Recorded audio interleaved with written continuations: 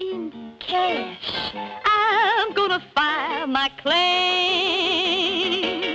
I got the fever, ooh, the fever, but not for gold in the ground.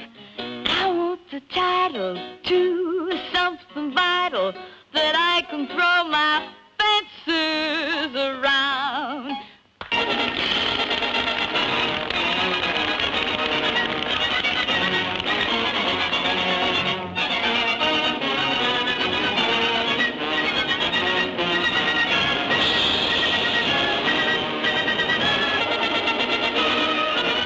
CinemaScope flames to furious new heights of drama and emotion when Monroe meets Mitchum. Only yesterday, she was the honky-tonk dancer, the gambler's doll, the sultry ballad singer.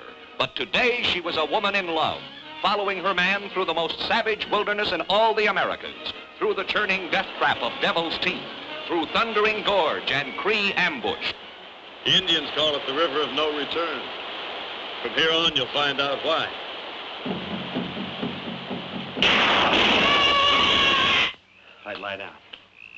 On your face. Come on, come on.